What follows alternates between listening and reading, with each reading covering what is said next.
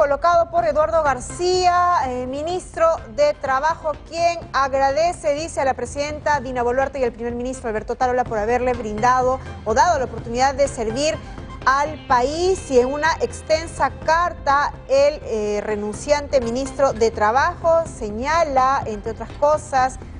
que bueno, dice que cuando asumió el encargo de servir al país desde la posición de ministro de Estado, dice lo hice porque estaba convencido de que podría contribuir a construir el Perú, que soñaba desde el sector de trabajo y promoción del empleo, dice, imaginaba poder llevar una gestión identificada por el diálogo social que generara un tejido social y ciertos eh, puentes comunicantes. Señala que, dice, no podemos negar tampoco que pudieron haber motivaciones oscuras, eso en relación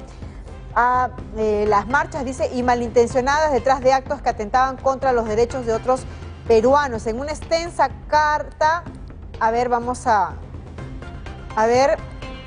señala este comunicado, dice, considero, ¿no? el penúltimo párrafo de esta extensa carta, considero que todos los peruanos necesitamos entrar en un proceso de reflexión, necesitamos ver al otro como un eh, yo y no como un enemigo, entender eh, que el que piensa distinto no necesariamente está equivocado, necesitamos poder discutir con un diálogo serio en el que validemos la posición del otro y no se esforcemos por comprender sus razones, solo así podremos, dice, respetamos e identificarnos.